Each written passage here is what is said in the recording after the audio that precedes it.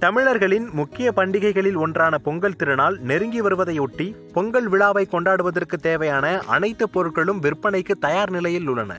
தஞ்சை மாவட்டத்தை பொறுத்தவரையில் கரும்பு அறுவடையை ஒரு சில பகுதிகளில் விவசாயிகள் துவங்கியுள்ளனர். அதேபோல் புவிசார் குறியீடு பெற்ற வீரமாங்குடி அச்சுவெல்லமும் உடனுக்குடன் தயார் செய்யப்பட்டு விற்பனையாகி வருகிறது. இந்த நிலையில் கடந்த இரண்டு மாதங்களுக்கு முன்பிலிருந்தே பொங்கல் பானை உள்ளிட்ட மண்பாண்ட பொருட்களை தயார் செய்யும் பணிகளில் மண்பாண்ட கலைஞர்கள் ஈடுபட்டனர். அந்த வகையில் தஞ்சை மாவட்டம் ஒரத்தநாட்டை அடுத்த தெக்கூர் கிளாலர் சேர்ந்த சுமார் இருபதுக்கும் மேற்பட்ட குடும்பத்தினர் ஆண்டாண்டு காலமாக மண்பாண்டங்களை தயாரித்து வரும் நிலையில் பொங்கல் பண்டிகையை ஒட்டி மண்பாண்டங்களை தயாரிக்கும் இறுதிக்கட்ட பணியில் முழுவீச்சில் ஈடுபட்டுள்ளனர். இங்கு தயாரிக்கப்படும் மண்பானைகள் தஞ்சை மாவட்டம் மட்டுமின்றி சுற்றியுள்ள மாவட்டங்களுக்கும் வெளிநாடுகளுக்கும் ஏற்றுமதி செய்ய செய்யப்பட்டு வருகின்றன. நான் வந்து பத்தொம்போது ஏஜ்லேருந்து செஞ்சுக்கிட்டு இருக்கேன். வயசு அறுபத்தஞ்சு ஆகுது தலைமுறை தலைமுறையாக நாங்கள் இந்த மண்பண்ட தொழில் தான் செஞ்சுக்கிட்டு இருக்கோம்.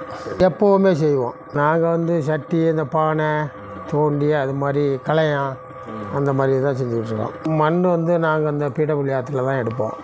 இப்போ வந்து எல்லாம் பிளேக்கு ஒட்டிட்டாங்க. அதனால் இனிமேல் எங்கே எடுக்கிறது அப்படிங்கிறது தான் தெரியலை. குளத்து மண்ணும் எடுத்துகிட்டு வருவோம். கரம்பக்குடி பக்கம். அதில் குளத்து மண்ணும் எடுப்போம். ரெண்டு மண்ணும் சேர்ந்தால் தான் இதை செய்ய முடியும். தனியாக ஆற்று மண்ணில் மட்டும் செய்ய முடியாது. பானை வந்து அது நிறையா இடத்துலேருந்து ஏற்றிட்டு போகிறாங்க. லண்டனுக்கெல்லாம் ஏற்றிட்டு போகிறாங்க. தஞ்சாவூர் வல்லம் இது மாதிரி இடத்துக்கெல்லாம் ஏற்றிட்டு போகிறாங்க. அறநூறு பானை நாங்கள் மூணு மாதமாக செஞ்சுக்கிட்டு இருக்கோம். மண் காயாது. இது மாதிரி ம மழை இல்லைன்னா கூட மப்பாக இருந்தால் கூட மண்ணே காய வைக்க முடியாது. நம்ம நாங்கள் செய்கிற பாத்திரம் வெயில்லான வச்சு காய வைக்கிறோம்.